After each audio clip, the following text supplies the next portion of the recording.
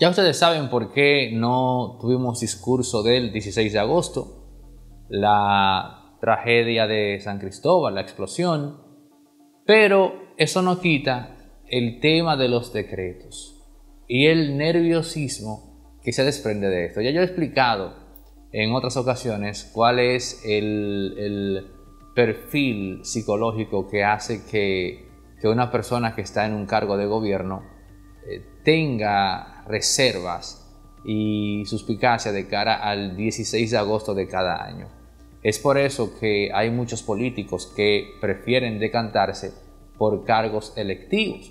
Se dicen que si una vez consiguen esa alcaldía, esa regiduría, esa diputación o esa senaduría, nadie los puede quitar.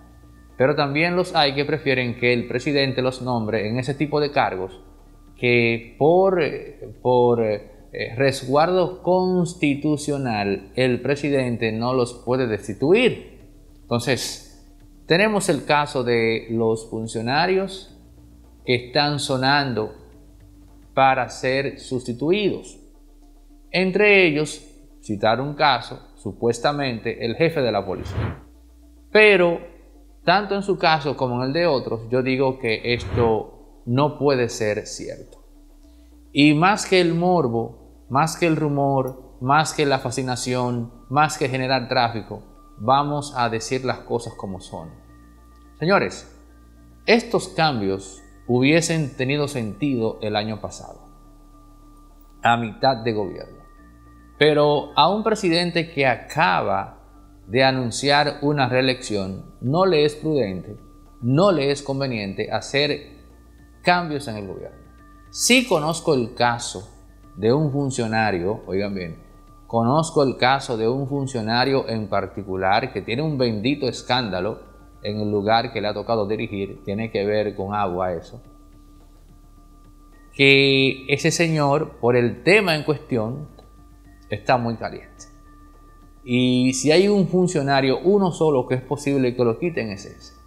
Pero fuera de ahí, no es lógico de cara al poder como tal que el presidente que acaba de anunciar su reelección se despacha haciendo grandes cambios en el gobierno. El presidente que ahora está nombrando los altos cargos directivos de su campaña.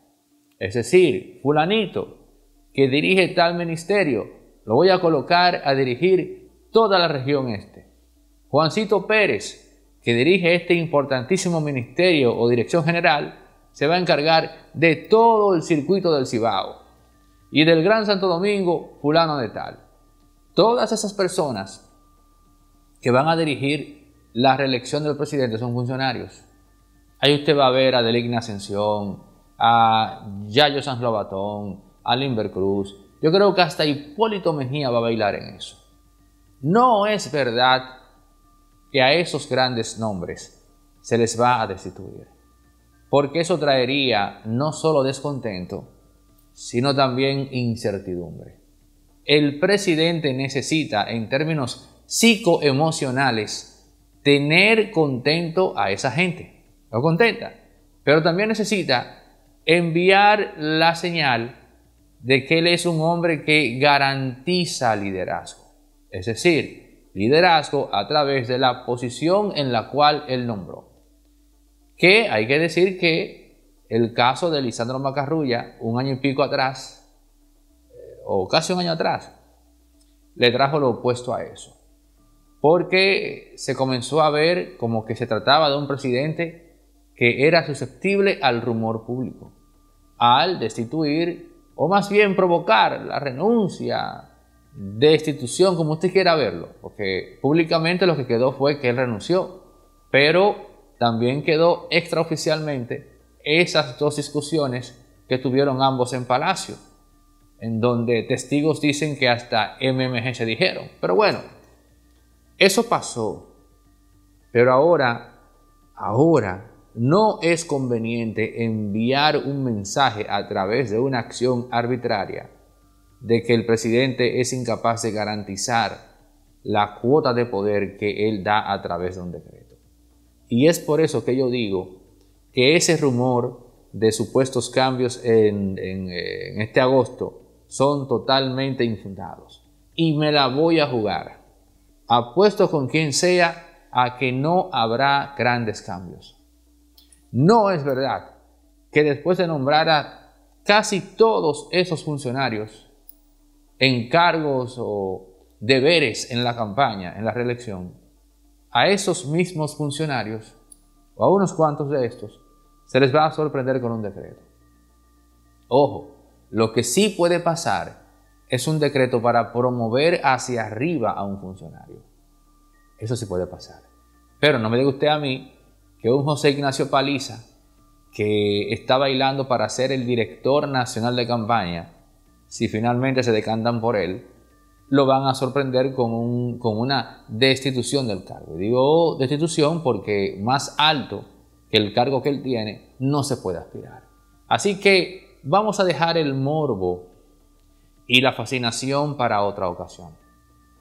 No habrá grandes cambios en este agosto. Y a los funcionarios que me están escuchando, que dejen el nerviosismo. No, mis hijos. El presidente no los va a mover de cargo. Recuerden mis palabras. Los sábados ahora son de los Sí, todos los sábados hay un millón. Hay una carabía en la población con el millón del sábado de El Agarra 4 te trae el millón de los sábados. Y es que por cada jugada que realices de domingo a sábado, generas un código automático para participar en el sorteo de un millón gratis cada semana. Haz tus jugadas de la Garra 4, porque a partir de este 29 de julio participas por el millón. Y guarda tus tickets, porque cualquier sábado del año, Lotedón te regala. Para tu bolsillo un millón. Yeah, de Lotedón. Consulte las bases de la promoción. Les tengo una muy buena noticia de Farmacia Medicar GBC. Ya tienen su app. Vayan a Google Play y a, la, tienda de, de, Android y también a la de Apple y descarguen desde ya la aplicación de Farmacia Medicar GBC. Ahí podrán seguir disfrutando a partir de compras de 300 pesos del 20% de descuento en todos sus medicamentos. La Farmacia Medicar GBC llega a tu celular, descarga la app y pide tus medicamentos a través de ella. Farmacia Medicar GBC, la de nosotros los dominicanos. Para dirigir personalmente las políticas públicas policiales de un país, te da, te deja como evidencia, ¿no? De que la situación gerencialmente no va bien. No va bien que tiene que asumirla directamente el jefe de Estado por encima de su director general de la policía, que está para eso, y por encima de su ministro de Interior y Policía, que es su representante desde el Ejecutivo para dirimir esos temas. Entonces, cuando un presidente de la República va todos los lunes, cuando tenemos una estadística que de 2020 a la fecha nos dicen que la criminalidad ha aumentado año tras año, tenemos una situación de cuidado. Y lo que amerita es que si bien es cierto que el presidente tiene la prerrogativa de, o la potestad de ir y personalmente asumir la dirección del rol de la policía, lo que previene eso en lo inmediato es un eh, reemplazo secundario en la gerencia. ¿Por qué? Porque él está reemplazando la gerencia de la policía personalmente como, como jefe de Estado por encima del jefe de la policía. O sea, el jefe de la policía prácticamente, si el presidente va a despachar todos los lunes y él no va a recibir un informe que lo puede recibir en el despacho beber café, o sea, hacer nada, sino que él va a dirigir las políticas en, en cuestión, en las políticas policiales del Estado. Si va a hacer eso, entonces eh, lo que se espera y lo evidente que debe venir es un reemplazo del jefe de la policía. Para nadie es un secreto en este país que se esperaban cambios el 16 de agosto. Cambios, decretos que tengo la información que ya están hechos. ¿Cómo? Hay cambios que ya están hechos, no solamente en tema de, los cuerpos castrenses, porque ahí tenemos que incluir inclusive el tema de la Marina de Guerra. Eh, de la Armada. Ahora, ahora es la Armada en vez de, la Marina. Cuesta acostumbrarse. Eh, sí, cuesta, cuesta un poquito acostumbrarse. Entonces, ¿qué pasa? El jefe de la Armada tiene una situación interna, porque muchos generales en la Armada no se sienten a gusto con la dirección que está llevando Soto, es apellido Soto, general Soto, porque, dice, porque lo que se dice es que él trabaja con un círculo tiene un anillo que es el que despacha todo allá y hay otras dependencias con otros generales que se supone que deben trabajar en, trabajar en conjunto. Fíjate, por ejemplo, la dificultad de que hay, que hay un caso ahora de unos 21 desaparecidos, que no se sabe cómo, ni por dónde, ni dónde están, si aparecieron vivos o muertos. En el mar. Sí. Y, te, y eh, esa situación ahí y se evidencia que no hay como una conexión de los departamentos correspondientes a dar información, a diferencia como, como están en otros cuerpos castenses, que automáticamente la vocería habla y dan una información, aunque sea escueta, pero dan algún tipo de información. Entonces, la información que tengo, que ese decreto del reemplazo de ese señor está ahí, eh, tras que se frenó por la tragedia de San Cristóbal. Pero lo que más me llama la atención es que no solamente está el, la- el decreto del reemplazo de ese señor, de la, de la Armada, sino que también del director general de la policía. No. Eso está ahí. Y hay un, porque hay un descontento con la administración de TEN. Y yo te voy a dar datos, datos importantes que me dio esta fuente, de que hay un descontento con TEN en la Policía Nacional, porque supuestamente, supuestamente, el hermano de TEN está dirigiendo o jefeando directamente el despacho del jefe de la policía. El hermano de Ten, que es general también. General también, pero no tiene una designación eh, que lo ponga por encima de los demás generales. Pero está en el despacho, supuestamente tiene su oficina en el antedespacho del jefe la- del, del director general de la policía. oficina. Su oficina No es que va a visitar a su hermano. No está ahí en una oficina, supuestamente. Y ese señor es jefe ahí en el despacho de jefe- de- de- del, pa- del palacio, de la, la Dirección General de, de la Policía, y despacha con, lo- con los demás generales. Pero a esto súmele, súmale, que se me escapa el nombre, voy a ver si encuentro el nombre de un civil que me dieron, que, oh sorpresa, no es Pepe Vila, porque ya de Pepe Vila se sabe que es jefe de los jefes, ¿verdad? Asesor. El asesor, sí, pero que el jefe de esa vaina. Eh, Pepe Vila. Hay otro civil que también es jefe, supuestamente. Y el gran descontento y algunos militares. ¿Tiene el nombre? ¿Tiene el nombre? No, se me escapó el nombre. Lo voy a buscar quizá, aunque para que lo vean, aunque sean subtitulados aquí, o lo digo después en, en otra intervención. De que ese señor civil, que está también ahí en el despacho, jefeando, el descontento principal que tienen muchos generales es, y otros oficiales, es que tienen que hacerle el saludo A un civil. a un civil. Llega el civil, el civil llega, tienen que hacerle el saludo, y eso ha traído un descontento con la gestión de que se sienten irrespetados y ninguneados porque tienen eh, eh, una obligación oficiales de hacerle el saludo a una gente, no solamente ¿Y quién les que esté obliga? por debajo, ¿eh? ¿Quién les obliga? ¿Eh? ¿Quién les El- obliga? ahí- la ahí- dirección, porque ahí- él está ahí- jefeando del, del despacho del, del director general de la Ahí es que policía. está la humillación. y ahí es que está la humillación. O sea, Entonces, que el, el director de la policía es el que los, est- los está obligando a los otros No, no generales de la sabemos, policía no sabemos, pero a le- hacerle el saludo no a un sabemos, civil. pero le están haciendo el saludo. Están haciendo el saludo. Entonces, los decretos de esos cambios están ahí. Entonces, supuestamente lo tiene, está frenado, están hechos y firmados los decretos, porque el presidente no quiere crearse una situación, ¿verdad? Interna de política interna en su partido.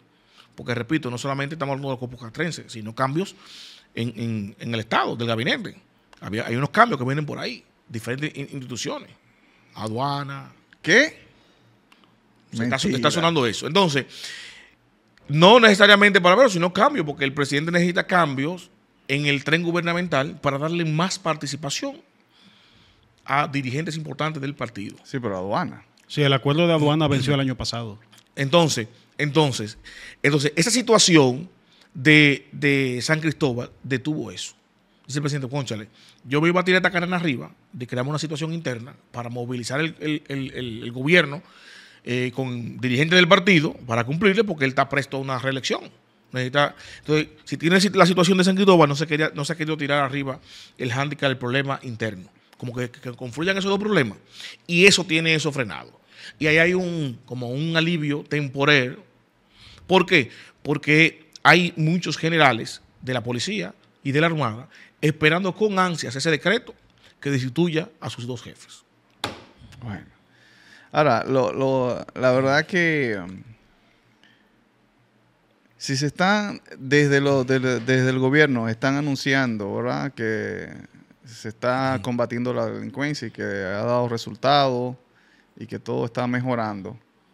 Quitar al jefe de la policía ahora, eso es lo que me da por pensar a mí es, no lo voy a quitar en los momentos donde, donde supuestamente se- se- o sea, la gente está o no, o, o- o- o va- vamos a anunciar, vamos a anunciar esta campaña, esta narrativa de que la criminalidad está bajando, que estamos mejorando, que ha dado resultado, y cambiamos el jefe de la policía. Para, para que él pueda salir diciendo misión cumplida. Exactamente, o sea, lo cambiamos no porque falló, sino porque Misión cumplida. vamos a, a- es parte de, de- de- seguir mejorando, ¿no? No, no, pero que, es que lo que se iba, lo que se iba a eso me que te interrumpa, lo que se iba, con esa estrategia que tú dices, lo que se va a visualizar era lo contrario. O sea, si tú tienes un jefe de la policía y las cosas van mal, la delincuencia está imperando, y tú vienes y le haces un bypass y asumes el control de las políticas de, policiales y mejora, tú lo que estás evidenciando y demostrando que, que tú tienes un mal gerente. Entonces, cuando tú vas y lo mejoras, y para que sigan mejor, tú lo quitas y traes otro. Lo que estoy diciendo a la población es, si yo fui, si verifiqué y validé, y realmente tengo un problema de gerencia. Sí. Lo demostré porque lo corregí, Mario. lo mejoré, y como él es un mal gerente, lo quito y pongo un buen gerente. Mario, pero si hay un problema de Eso gerencia. es lo lógico, eso es lo lógico. Espérate. que tú- no, no, lo no, que tú no, es lo lógico, señores, no es lo lógico. Si hay es. un problema de gerencia en la Policía Nacional, lo lógico es cambiar al ministro de Interior y Policía, que es ¿Cómo el el gerente ministro? del tema. ¿A dónde? Tú- No, no, Oh, pero quien, admi- eh, quien debe administrar. ¿La Policía Nacional? Eh, sí, quien debe hacerlo es el ministro. Sí, pero eso ha si sido- el presidente tiene que hacer a un lado al ministro para impartir las instrucciones directamente al director de la policía, el que está de más es el ministro. Sí, pero ese, eso siempre ha sido decorativo. Aquí esa vaina nunca ha ejercido lo que ha tenido que está- ejercer. el- El, el que ministro está de de, más es el Interior y ministro. Policía es un cargo político ahí para... No, es que por ley el, jefe de la policía despacha directamente con el presidente. Hace, hace, hace años que se hizo ese bypass y no está de- debajo de la responsabilidad Entonces, directa el del ministro de está de Policía. es el ministro de Interior- Pero que ese es otro debate, hermano. Lo que estamos debatiendo ahora, el responsable de las políticas policiales es el jefe de la policía, el director general de la policía. Y a ese fue que el presidente le hizo el bypass yendo a su despacho. Y eso que estamos debatiendo ahora no es si debió ser o debiera ser el ministro de Policía, porque es otro debate. Se ha debatido siempre, y eso se sabe todo el mundo, que no es así, que no funciona así.